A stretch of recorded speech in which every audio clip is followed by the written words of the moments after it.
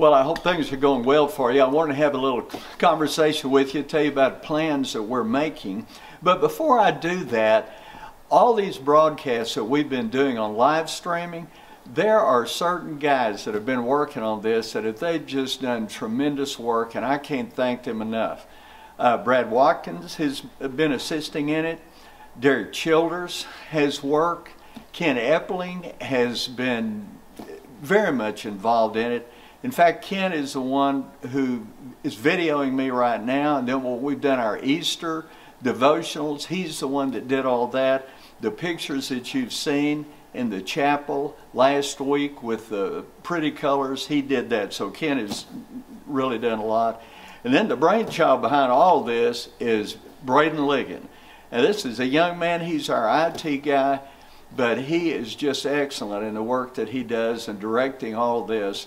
So I cannot thank these men enough. We wouldn't have this live stream were it not for them.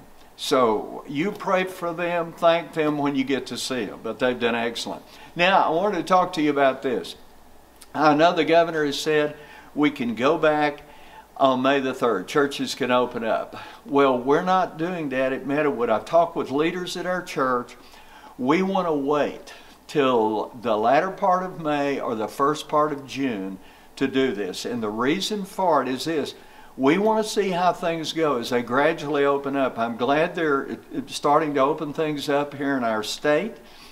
And we want to get people back to work. They're doing it in a slow way. So that's good. But we want to see if there's going to be a spike. We hope there won't be a spike in the coronavirus. We hope the, the levels will stay down and more and more people can get back to work. But we just want to wait and see how that goes. So that's one reason. The other reason we're wanting to wait is that for us to have worship here in the fellowship hall, uh, the way we had it set up previously, before all this took place, we could get 550 people in here. We can't do that now.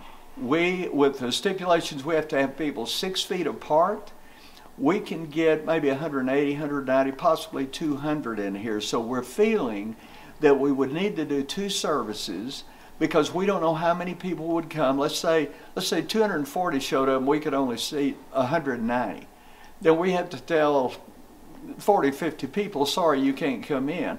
We don't want to do that, so we would have to have two services, and then in between the services, after the first one, we would have to sanitize everything. So this is quite a task.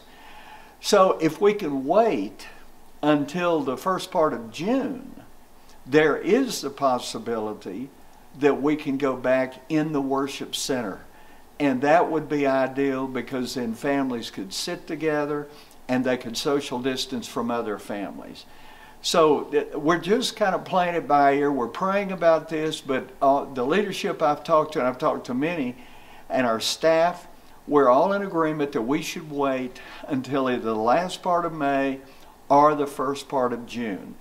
And uh, should things be delayed in the worship center, right now things are running smoothly, then we will work something out to come back into Fellowship Hall here. But we just covet your prayers in this. Uh, we're wanting to do the best we can to keep you safe. We're anxious to get back where we can be together. Oh, I miss seeing y'all. I know people miss each other. We miss being together, but we have to be safe at this time. So I hope things are going well for you. Please know we're praying for you. I hope you're praying for us. I know that you are. So you have a good day, and as time gets closer, we'll be talking to you again about what, what we'll be doing. So God bless you. Hope to see you soon.